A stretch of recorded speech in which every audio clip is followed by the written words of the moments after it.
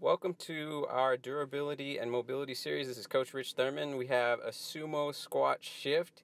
The feet are going to be turned out and you're going to shift the hips from side to side, driving your body's weight towards the toes.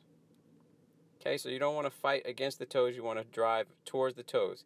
Keep the chest up nice and tall, proud, head and neck aligned with the spine this has been sped up just a little bit for time's sake.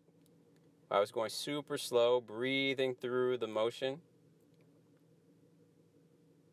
As you can see from the side, chest is up tall, spine is aligned. We're shifting right in the direction of the toes. Okay, if you have overly tight hips, you want to take your time with this one. We have the next version is the weighted, loaded version with the kettlebell.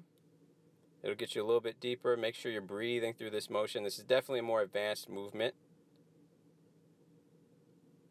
And then finally, we have the knee drop. Okay, this is definitely a much more advanced motion.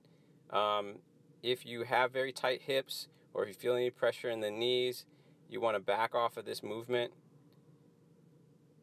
Okay, this is definitely, like I said, a more advanced movement. So please, please definitely be careful and be cautious. Be aware of your body. Try some of these out. Let me know what you think in the comments. Thanks for watching.